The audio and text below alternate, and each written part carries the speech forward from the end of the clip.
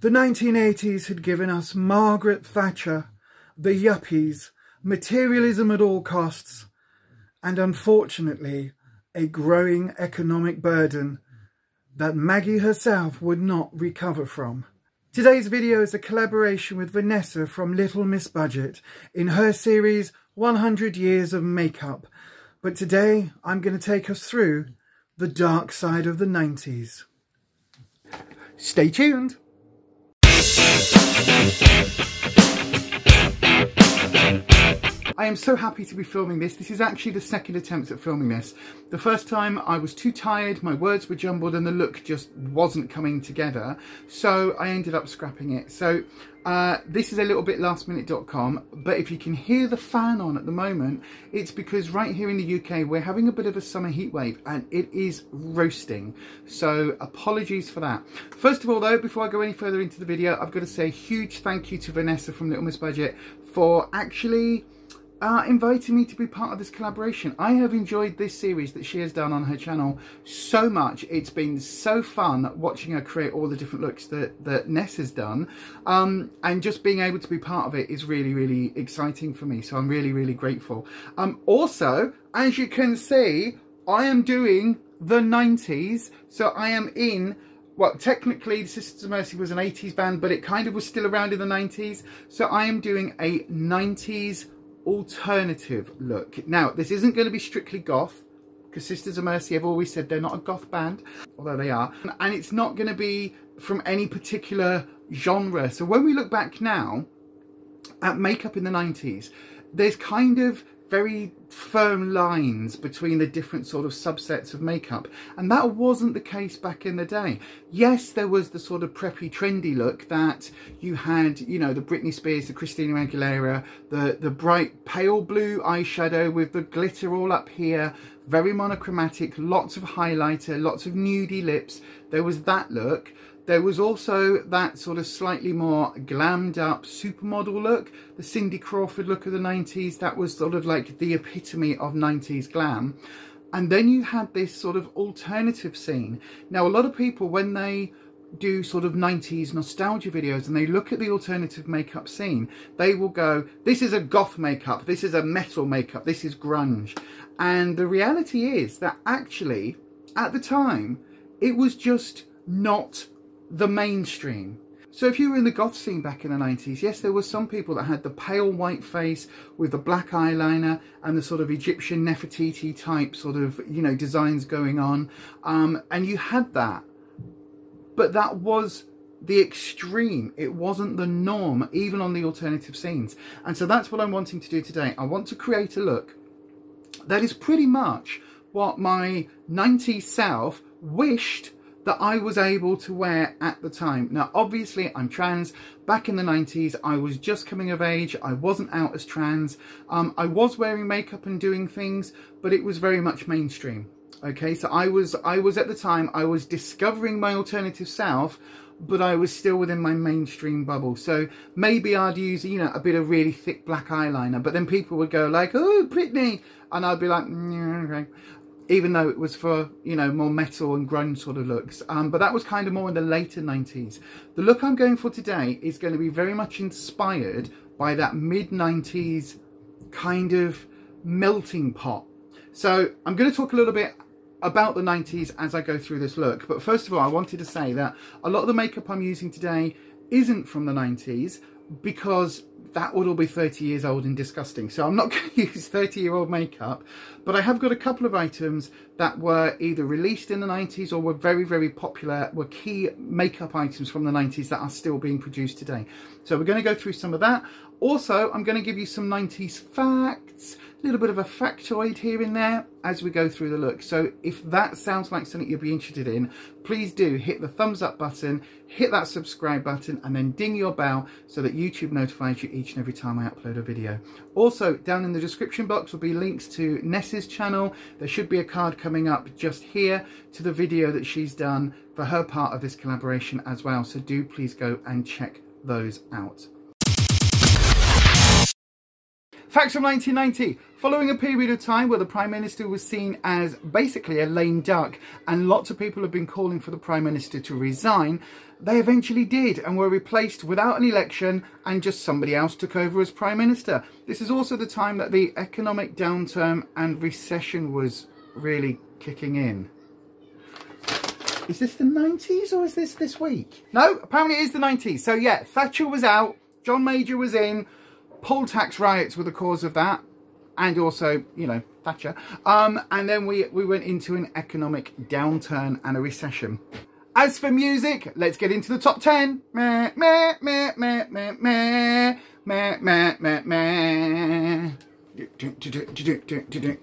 So in number 10 we have Snap and The Power. In number 9 England and New Order because they did the um, the football thing where Gazza cried, I can't remember.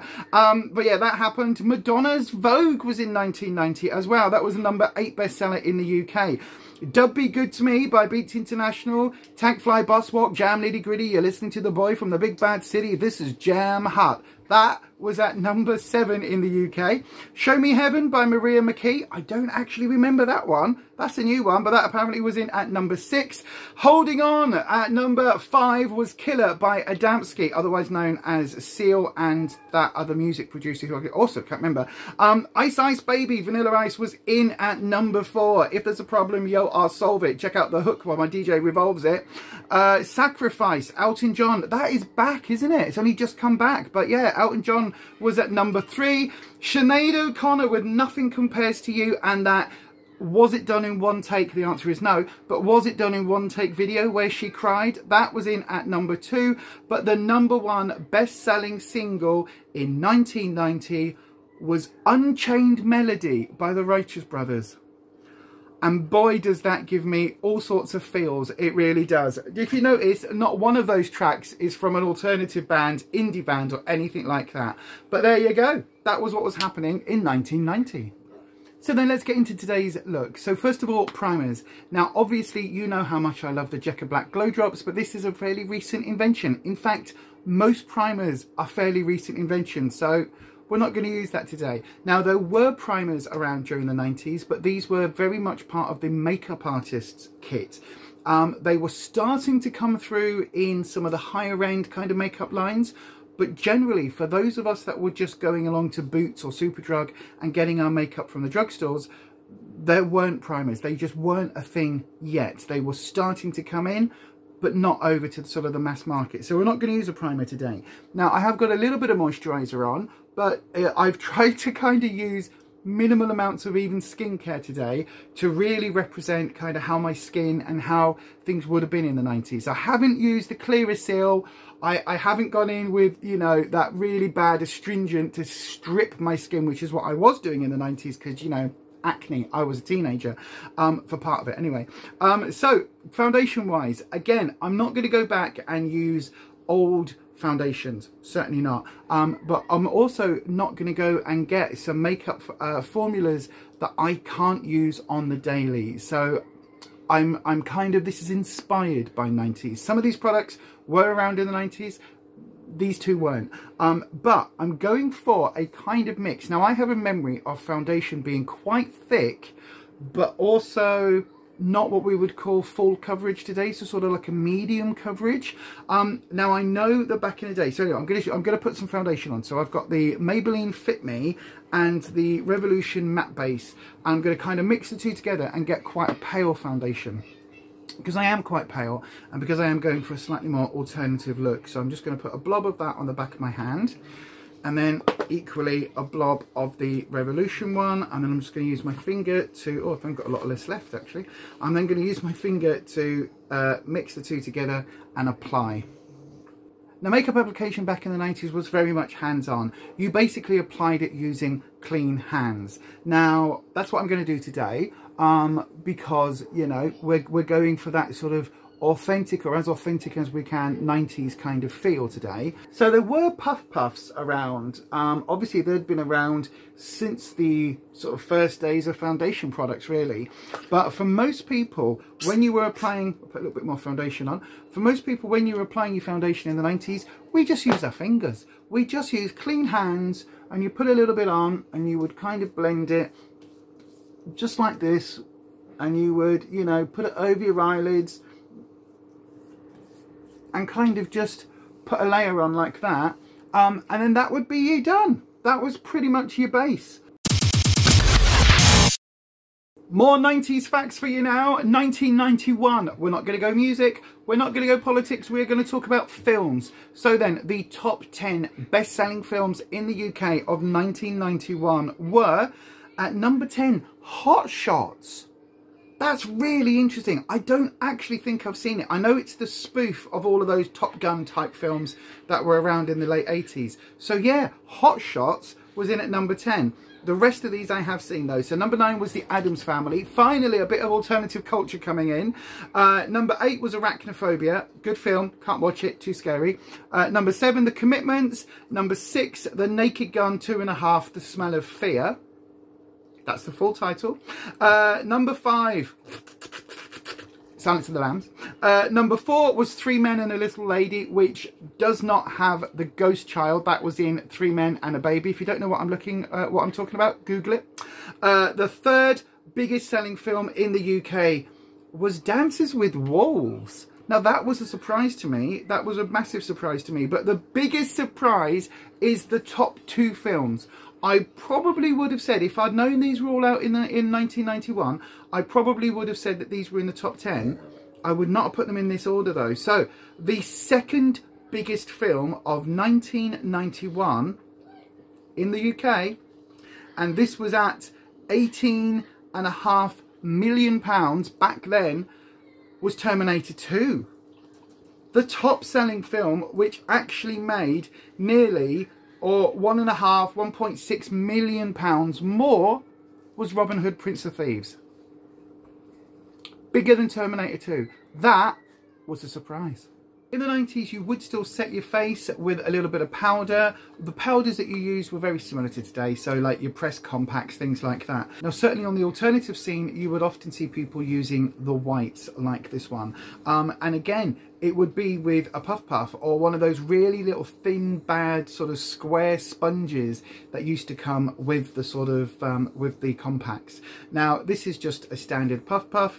Um, now brushes were a thing but again generally speaking for most people during the 90s, uh, it was only the makeup artists that really used a lot of brushes. And even then, a lot of the makeup artists were using those sponge tip applicators, which you can still get in a lot of sort of eyeshadow quads and things like that these days. But anyway, I'm going to go through now and just kind of set my face with this pale powder. Now do bear in mind, I am going for that slightly more alternative look. Um, and it's the, a mid-90s look that I'm kind of recreating today, just to put it in its sort of historical context. So I've got my foundation and my base on, so let's start going on to eyes and eyeshadow. Now, I am not about to sit here and put my face on with a sponge tip applicator. I'm sorry, I am all for historic accuracy. I, I just cannot do that to myself. So I'm not going to do that. So I am going to use my brushes. In terms of eyeshadows, certainly on the alternative scenes, there weren't really the big indie brands. So it wasn't a case of, you know, I'm not going to use Maybelline. I'm going to use KVD or I'm going to use, you know, any other indie alternative kind of themed brands. That wasn't really the case back then. There were companies like Stargazer that was doing things like these sort of single shadows um, that were using much more brighter, but these were very much only available in alternative sort of shops. These weren't really available for people in the mainstream. So, so when you went into Superdrugs and again Boots and places like that, you were quite limited as to the eyeshadow concept. So they were quads, they were small little palettes. We didn't really have the big rainbow palettes that we've got today or the big sort of multi-phasal, you know, like sort of the uh, Jeffree Star Orgy or cremated where you go from like a, a, a white to a black with all of those shades in between. that wasn't really a thing. So if you were looking for these sort of alternative shades, you really had to kind of, you know, pick up a palette here or a little quad there and use one shade from this and one shade from that and kind of mix and match. So that's kind of what I'm going to do a little bit of today. But also I'm, I'm kind of going in for two different palettes that I'm going to be using as my, my staples. So one of them is the Kat Von D Shade and Light palette. Uh, this is, you know, 100 million years old. So I'm going to start off using this because it's got these sort of browns and a couple of sort of whites and a black there right in the middle. Some facts from 1992, I'm going to include some famous people that died in 92. Okay, so these are in no particular order, I'm not putting them in date order or anything else or order of importance, I've just got a few names that I'm going to talk about. So Isaac Asimov died in 1992. He was a massive impact on my life in terms of science fiction because he impacted the sci-fi world like no other writer arguably. So ideas like the first rule of robotics, which we still see in things like Terminator and lots of other franchises, has now become one of the standard. We don't build AI which is capable of killing us. Lots of things like that were originally an Isaac Asimov invention. The incredible Marlene Dietrich died in 1992, uh, an incredible actress, very, very famous, iconic movie actress. Um, just amazing, amazing. Go back and watch any of her old films. Absolutely breathtaking. You cannot take your eyes off the screen when she's on screen. Um, comedian Benny Hill, problematic these days, but he died in 1992. He was actually born in the same town as me. Denholm Elliott, the English actor, died of an AIDS-related illness in 1992, as did Anthony Perkins. Now, both of these actors only went public with their HIV status right towards the end of their lives. It was really much a taboo subject then, pretty much similar as it is today, unfortunately.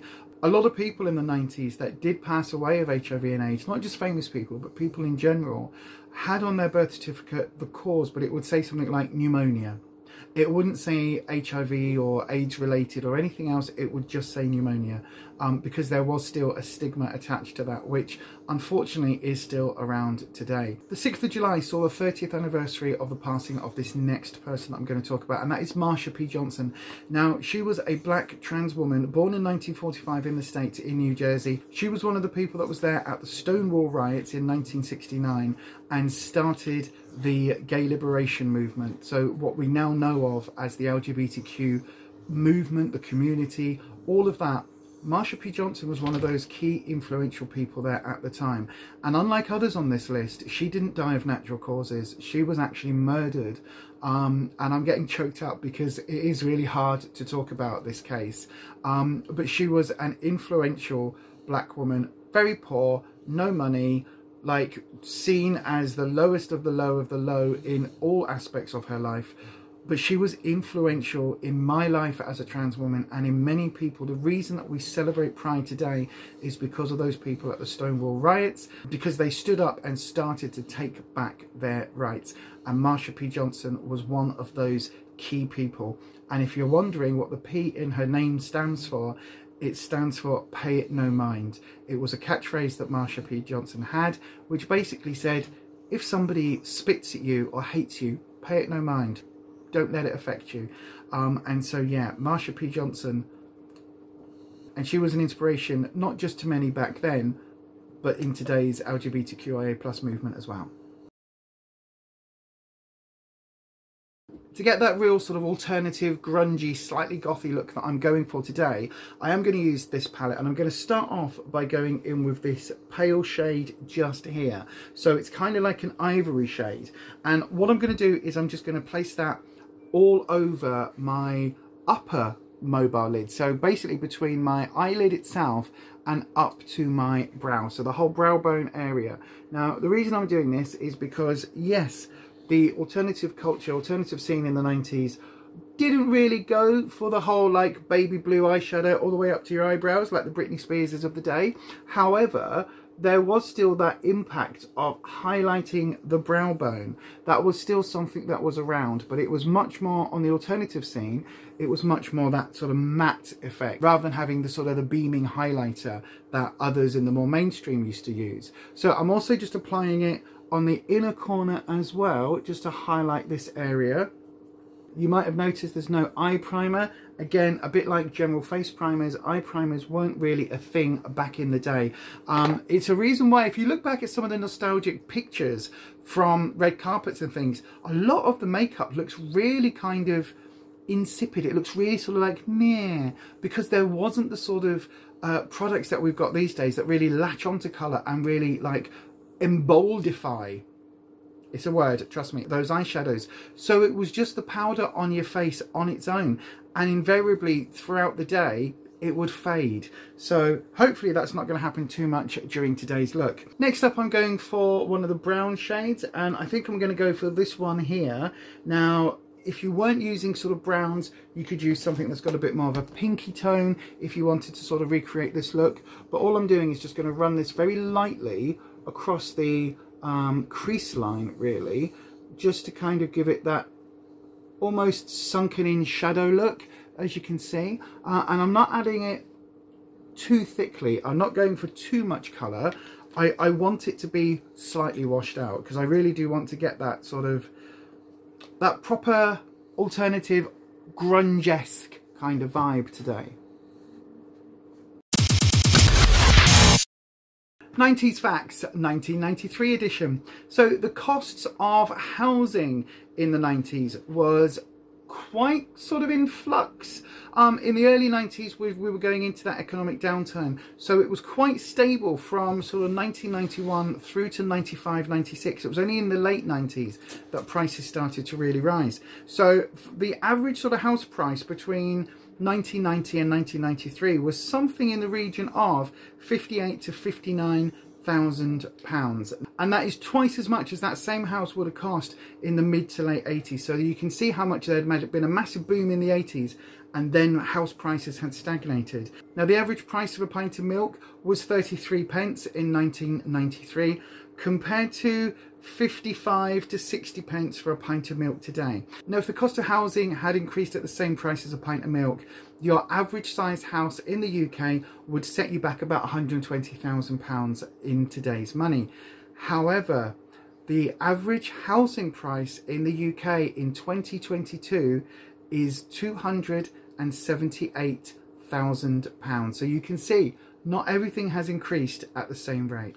So now because I've got them available to me, I'm just going to use one of these brushes. Again, a slight dig at the sponge tip applicators, but I'm just going to use one of these sort of packing brushes and I'm going back in with that same shade and I'm just lightly touching in, as you can see, just very lightly. I don't want too much makeup on my brush. And then what I'm going to do is just go underneath. I know I haven't got the rest of the eye look done yet, but I just want to go underneath the eye line on the lower lash line and just kind of almost smoke that down and then I'm going to take a clean fluffy blending brush and just sort of blend that out a little bit more. Okay now so from this palette I'm going to go in with this darker brown just here. And this is quite a cool tone brown. And I am just going to apply this again on the mobile lid but taking it up to that crease line and just kind of the topper part of that mobile lid if you like. So just kind of almost pre-smoking this up.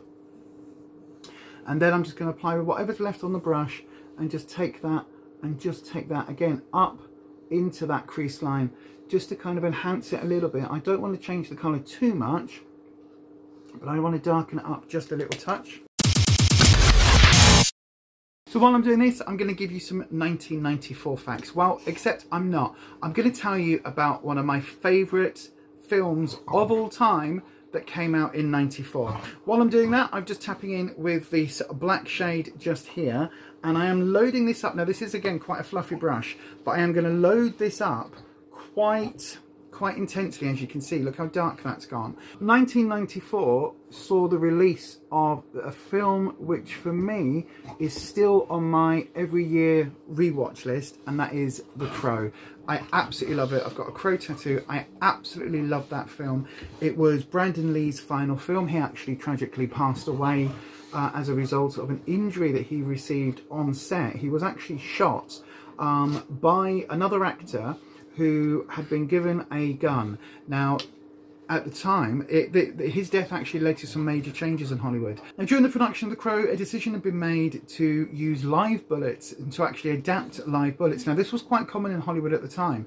You would basically, to save money on blanks, you would take your main bullet, remove the actual bullety part from it, and either totally remove the gunpowder or just, you know, adapt it in some way to make it safe. Now, this was standard practice, as I say, at the time, but unfortunately something had got lodged in the casing, in the barrel of the gun. And when the actor was handed a gun with this safe uh, blank bullet in and fired it at, at Brandon Lee, unfortunately, the, the piece that had got lodged in the barrel that nobody knew was there then got sent and it basically hit Brandon Lee and killed him. Um, and he, he died. And it was absolutely shocking. And the film actually shut down. The film was due out in 1992 it basically was was being made during the early part of the 90s it, it based on a comic by james o'barr and had been this ongoing sort of production problem until Brandon Lee came on board, and then all of a sudden there started to be this momentum with the film. Um, and then when he was tragically killed, the, the film got scrapped. They they literally scrapped the film. Alex Proyas, the, the director, basically said, I can't I can't do this anymore. I can't do this. This is no, no, no. And it took Brandon's family and the other filmmakers and lots of other people around to persuade the director to actually try and, and finish the film. And they did this by all sorts of film trickery. So there were some scenes that used um, other images of other actors from the back and things, uh, body doubles. There were some scenes that had been shot for one part of a film that got moved. And there's actually some test footage that had been filmed on video that they took into a computer. Now this is this is 93 when they're doing the CGI on this. So this was way back at a time when, you know, it's not like nowadays where you can create almost anything in a computer. This was real sort of groundbreaking stuff. And so there's a few sh uh, shots in the film where they take this video footage and they basically cut it and splice it and adapt it and put layers over the top. And then they use that as other footage. And there's one scene I'm talking about in particular was actually filmed in an alleyway.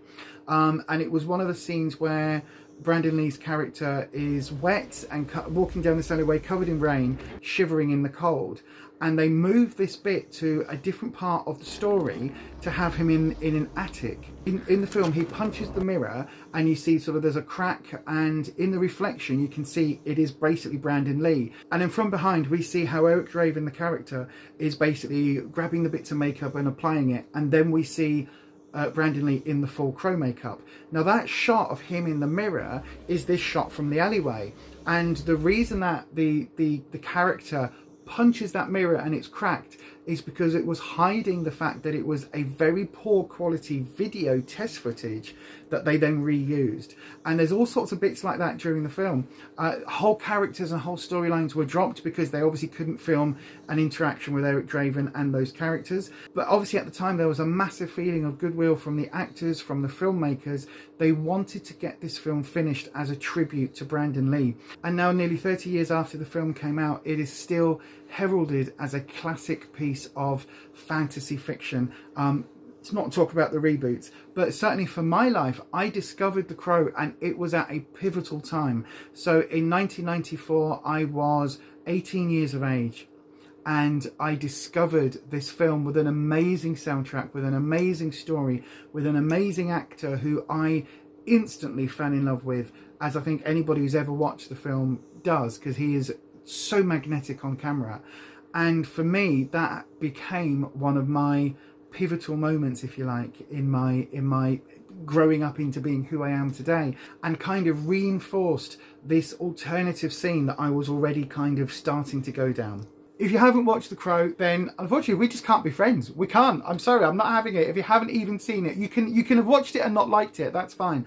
But if you have never seen The Crow, we cannot be besties. So I would urge you very, very strongly to go and watch that film at your earliest opportunity. It is amazing. It's very much part of the, its time, part of the 90s zeitgeist. But go and watch it. It is a classic piece of cinema.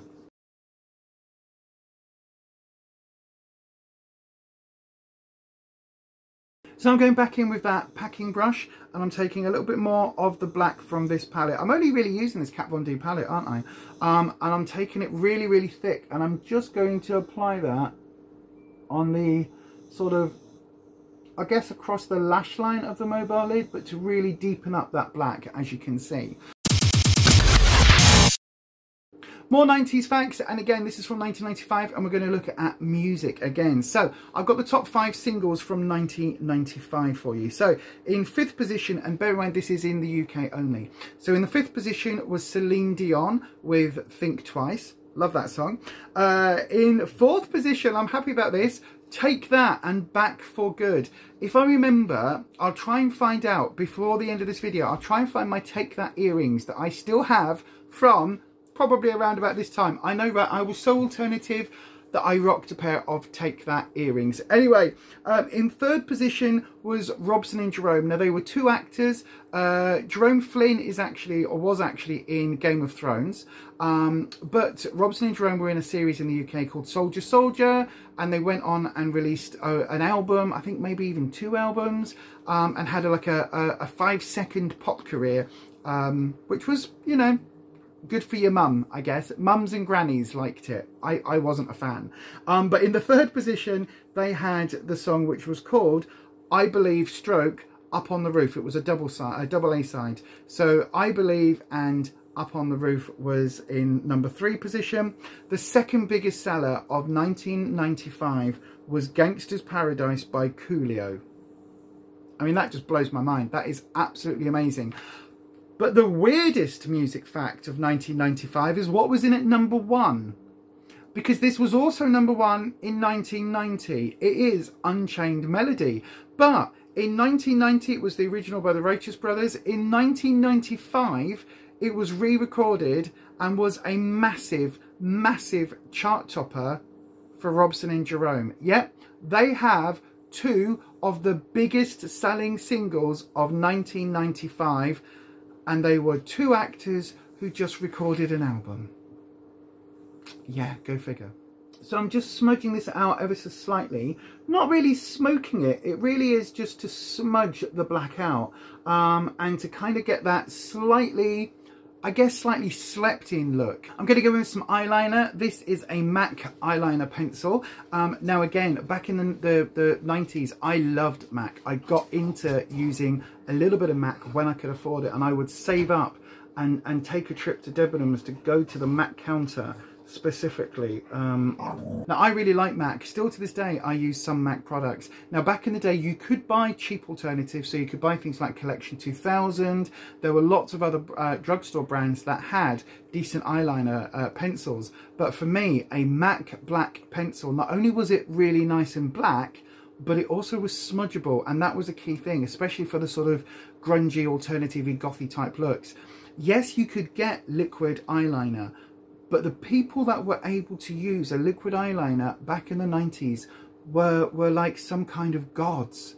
Because to get that on without YouTube teaching you or without, you know, having all the information that's at our, our fingertips now with the internet, without any of that, the people that were able to do a really nice, bold, fine black line they were legends. They were absolute legends. For the rest of us, it was a case of you take your pencil, you do your best, you smudge it out, and you pretend that that smudginess was what you wanted, because that was pretty much all that we were able to do. Um, now, certainly in the alternative scene, this was a look. Um, and again, it's because you had things like the supermodels doing that sort of heroin chic as it was dubbed. So they had to be super thin, super skinny, with sunken in um, sort of eyes and that whole sort of look where they, they the waif look was coming in with the supermodels. Um, and that was influencing media across the board. But certainly for the for the alternative cultures, like that that sunken eyed look was doable with the makeup but this this idea of your makeup should look lived in it almost you wanted to look like you'd been out for a party the night before had woken up mid-afternoon the day after the party and had just gone out again. That was kind of what you wanted to look like, that, oh, I don't really care about this. And you would spend hours and hours and hours getting just the right amount of, I don't care about my makeup smudginess. Um, which is what I'm now, now doing now. I know, right? So let's just do this on the other eye as well. Now, for me personally, I discovered the band I'm wearing, the t-shirt I'm wearing now.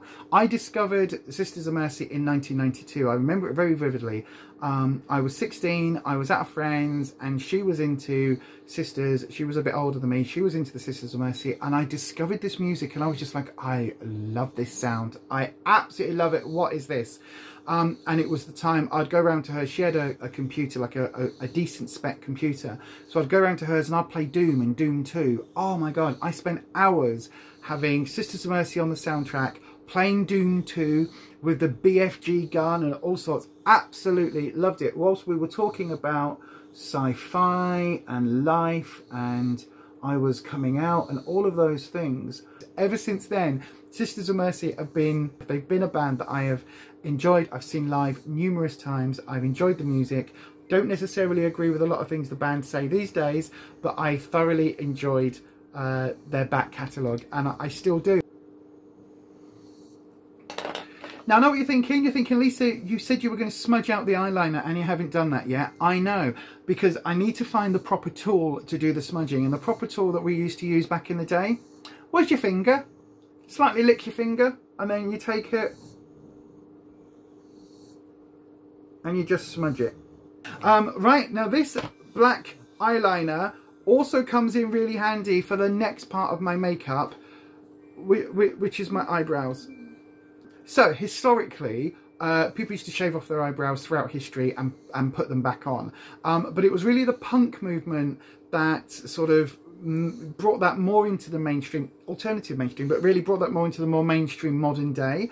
Um, so from the 70s and the 80s, you know, you would find people shaving everything off apart from like the little, the, the, the first, the, the core, the tail, the, the root, if you like. Um, but the rest of it would all be gone. And that still was happening in the 90s. Um, the 90s was the decade of the overplucked eyebrow. If you're on the alternative scene, you would just shave them off completely and reapply with a pencil. So that's what I'm going to do. 90s Facts 1996 edition. So in 1996, various things happened that again were quite pivotal in my life. So the film The Craft came out. We all know about the film The Craft. I, I still haven't been able to watch the, the reboot, but The Craft brought witchcraft into the mainstream like it had never been before. Yes, there'd been other sort of witchy things on telly and other witchy things, but nothing from this sort of counterculture alternative scene that was then played as kind of normal. So this element of we are the weirdos, mister, that celebration of being a weirdo, that was something that was pivotal for me, again, personally, in 1996. Okay, let's do the eyebrows. Now, the most important thing about getting genuine, absolute recreation of mid-90s eyebrows is your pencil sharpener. You want to get your pencil and you want to pop it in the fat bit of your double pencil sharpener, right? Now, this is really, really important. If you put it in the thin bit of your double pencil sharpener, the end gets so thin and pointy that you literally go to apply and it will snap off. What you want is that kind of nice chunky uh, sharpened end, right? This is how you do it.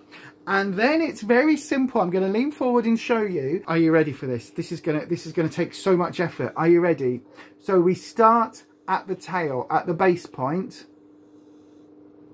and we take it across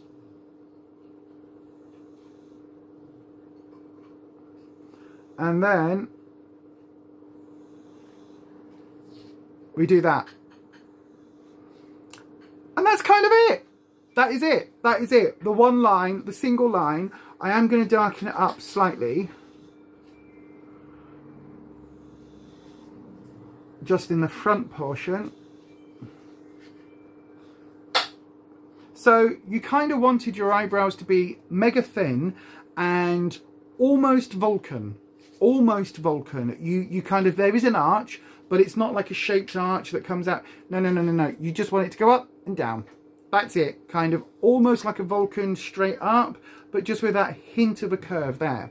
Um, and then this is the hardest bit of all, right? Getting sisters, not twins, as we say.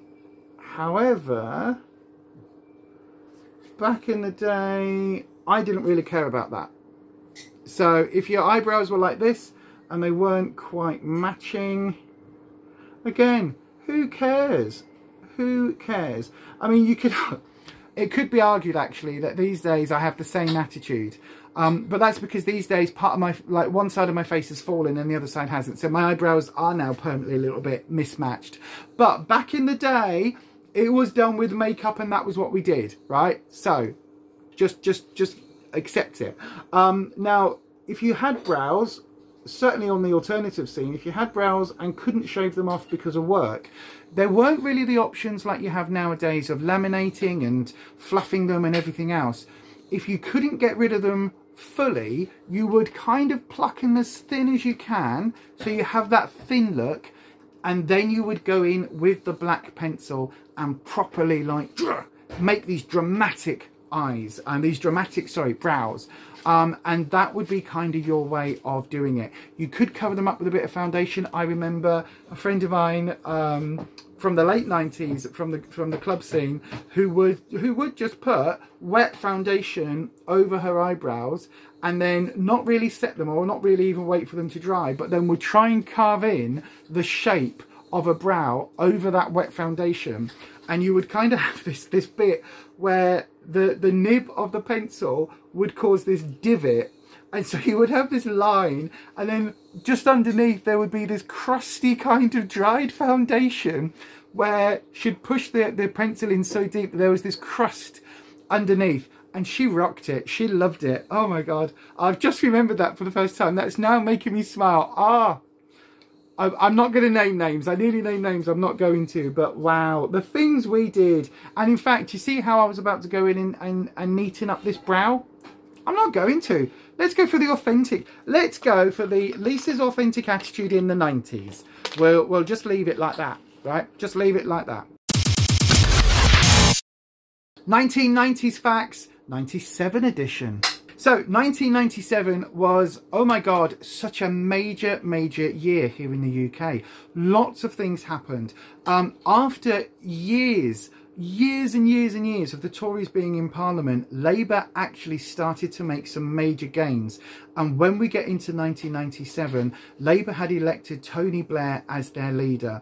Uh, the Conservatives had John Major, who was very much, I mean, he was depicted on Spitting Image using a grey puppet. He was just seen as grey and boring, not very exciting. It came out years later that before he was actually Prime Minister, he'd been having an affair with another Tory minister, and that all came out afterwards and was a bit more exciting.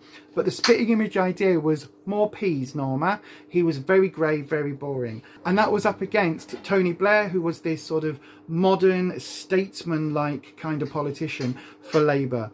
And so in 1997, you had this massive upswing, and Labour came in on a absolute landslide. They'd come in with this theme song, which was D Ream's Things Can Only Get Better. There was this real sort of feeling of new government, new Labour, new hope.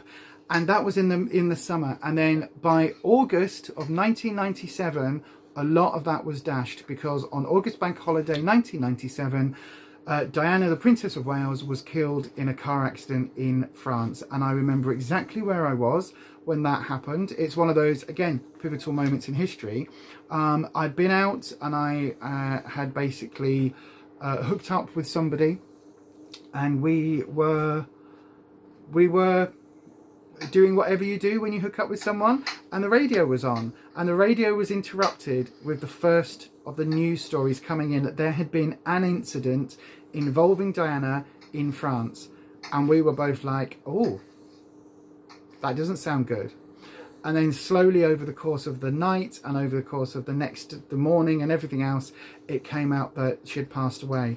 And again if you weren't there at the time it's difficult to imagine how the entire country kind of went into mourning overnight. There are scenes of, of, of massive amounts of flowers and tributes that were, were, were, placed not just in, in London at the Buckingham Palace, but across anywhere that had a royal connection or a Princess Diana connection. Flowers were being left. I cannot in any way, shape or form imagine any other person in in in history having that much of an impact in their death. And partly that's because of the mass media that was obviously around in the in the mid 90s, but also because of the the feeling and and the hope that we had as a country that things were going to get better, and how Princess Diana had gone through this divorce. She'd been part of the royal system. She was very much seen as the underdog, as seen as the victim in, in you know, Charles having an affair and all of that. And then all of a sudden, for her not to be there, just as she was embarking on a life away from the royal family, it kind of pulled that rug. And I would say that for for for those two months or three months, whatever it was, in between Labour coming in and Tony Blair having to do that speech about um, Diana's death, that hopefulness was absolutely tanned. You you could feel it in the country, and then when Diana died, a lot of that went. Um, and again, for the on the alternative scene, there there were people that loved the Royals and people that hated the Royals, same as there is in every other circuit. Um, but I remember I remember seeing goths crying, like literally crying weeping, having their makeup running down their face the minute that they were talking about Diana and the funeral and all of that. So yeah, 97 is a year that I will never forget.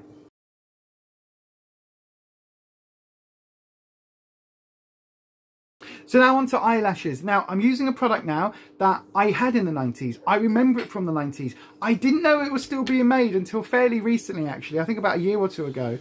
Um, and this is the Maybelline Great Lash Mascara. Look at this for iconic 80s, 90s packaging. I love the fact that it still looks the exact same.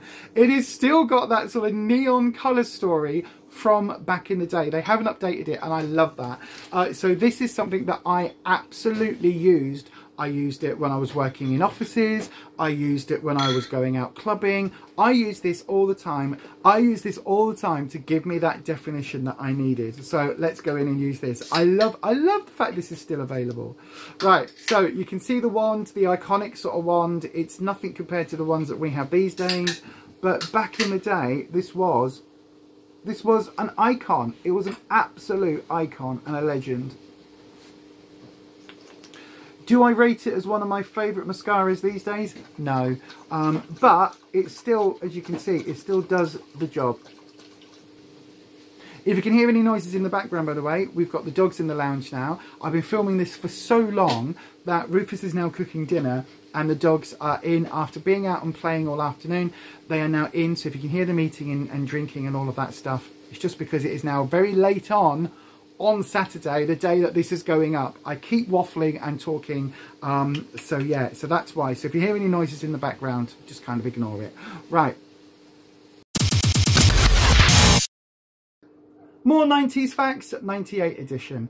So then, in terms of box office, by the time we get to 1998, it seems we are very firmly in the era of disaster movies. Not like the Poseidon Adventure that we had in the 70s and 80s and stuff, but we're back with disaster movies, but with a sort of modern sci-fi type of twist because we have the story of a very large meteor that is going to be heading towards Earth and is going to cause a massive amount of damage and destroy everyone. Um, and, and that actually appears twice so we have Deep Impact, which was the seventh biggest film of 1998. But in the second place, in the, the second biggest film of 98, was another film about a giant meteor rock coming towards us and destroying us. And that was Armageddon. Uh, so it just seems that this was like the era of it because the number one film in 98 was probably the biggest disaster movie of all time that we all knew how it ends, and that was Titanic. So yeah, if you're feeling really old, Titanic was from 1998. Leonardo and Kate Winslet fitting on that door, that argument first started 24 years ago, and it is still around on TikTok and everything else that is incredible to me. That is absolutely incredible. But 98 is also the year that Practical Magic came out. Now, I love the book, but I am a huge fan of the film. I, I love it. I really, really love that film. And again, it, it speaks to the witchy in me.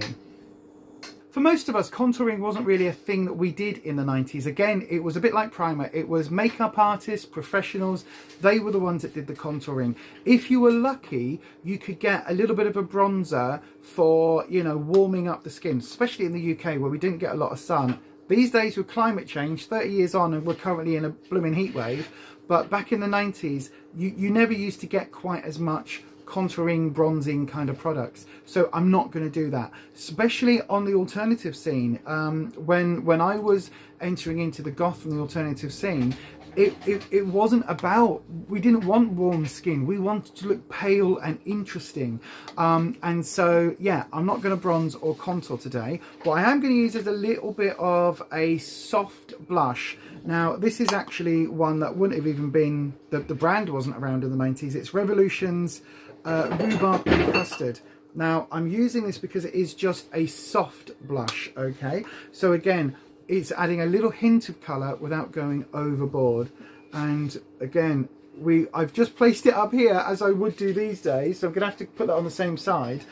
But actually, for blush, we, we kept it kind of on the apples. It was kind of in this area. So I'm just going to put a little bit there. But I'm now going to top that with something that I remember doing in the 90s. And that is taking whatever the setting powder was, taking it, I never used to put it on a brush, I used it on a puff puff, and basically just going over your blusher. Because again, you kind of wanted this idea um, and to be fair, the white setting powder that I used in the 90s was talc, okay? Let's not beat around the bush. I use talcum powder. Please don't do that these days. Um, it's not good, it's not great, but I use talcum powder. So yeah, bear that in mind. But you would just put a little bit of um, your setting powder over the top of your blush to kind of tone it down so you've got that hint of blushing through the makeup, but it's still being very kind of gothy alternative. And again, we will try and do it so it looks like I haven't put blusher on. No, I'm not wearing any blusher, she says. I've just got a little bit of powder on. If I'm blushing, it's coming from within. That's my natural blush. Because it was that whole kind of pared down, you don't want to look like you've done too much kind of look. 1999 Facts, Death Edition. Stanley Kubrick died in 1999. Now, if you don't know who Stanley Kubrick is, he was a filmmaker of some of the biggest, most seminal films in history. So things like The Shining, Clockwork Orange, 2001. These are films that are immortalized as being up there with some of the best examples of, of, of what you can put on film. He's also allegedly the guy that filmed the fake moon landings, which we're not going to get into with that. That's a whole conspiracy theory. I'm not going into that. But yeah, Kubrick died in 1999. 99 is also the year that DeForest Kelley passed away. Now, you might not be familiar with his name, but you'll probably recognize his face or at least know of the character that he is most commonly associated with. And that is Leonard McCoy, Dr. McCoy from Star Trek. He was part of the holy trinity of Kirk, Spock, McCoy. He started off in this little sci-fi series that nobody knew if it was even going to get picked up, let alone be a hit, back in the mid-60s. And before you knew it, and then all the way through to the 90s, he was associated with Star Trek. He played the character in films, in audiobooks, he played the character on animated series, on shorts, you name it, he embraced the character of Dr. Leonard McCoy. He did other bits of work as well, but it's very much Leonard McCoy that uh, DeForest Kelley is going to be associated with forevermore. And in terms of sci-fi and that whole pantheon out there, um, yeah, he is up there with some of the most iconic actors ever to have graced the silver screen.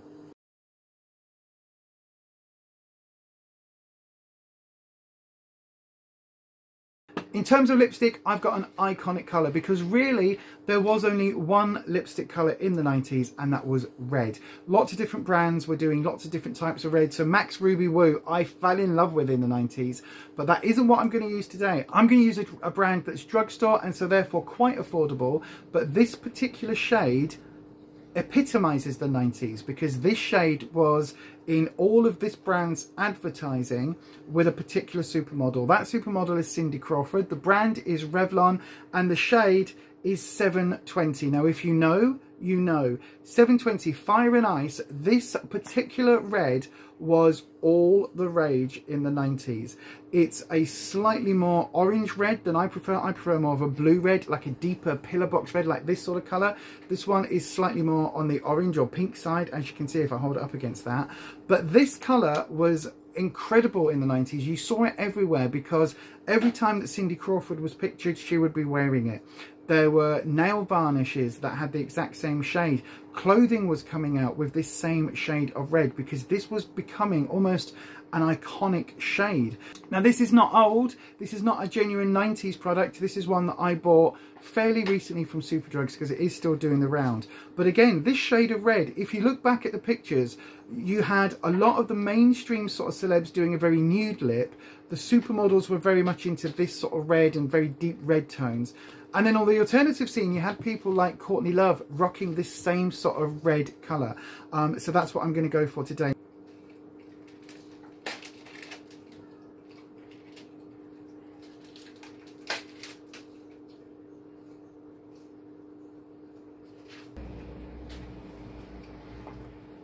So there you go. As you can see, that is a very bold red lip. And with this sort of eye look, it really does stand out. I'm going to set my face, but I'm not using a setting spray. Uh, no. No, I'm, I'm, I'm doing what we all did in the 90s. Yeah, it's hairspray. It's hairspray. I'm, I'm going to hairspray my face. I know. I know. Right, so I don't recommend that you do this at home, okay? Do not do this step at home. It is bad. This is designed to keep hair solidly in one place. It is not designed for your pores to be able to breathe through a layer of it like a setting spray is. But this is what I'm going to do in the interest of historical accuracy, okay? Ready?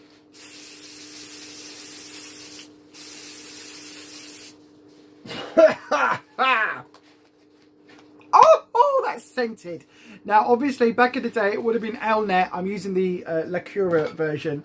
Um, but oof, that is quite scented um, and quite minging.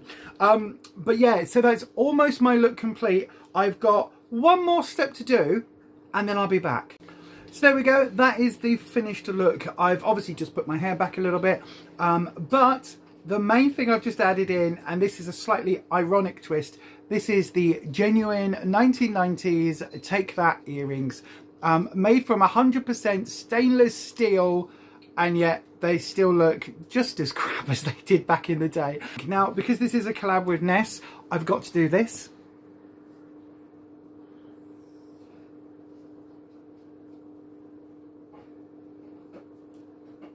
Which is how Ness always shows off her looks. Uh, if you don't know Ness and, and, her channel, please go and check it out. Uh, the links will all be down below. They're always down below because she is part of the Authentic Army here on YouTube. Do go and check out Ness's video. I can't wait to see what she did with the theme of the 90s. That's going to be, Wouldn't it be interesting if she did a grunge look or if she went like really gothy? That would be really fascinating. So yeah, I urge you all to go and look at that. All of her channel links and the video link will be listed just down below in the description box.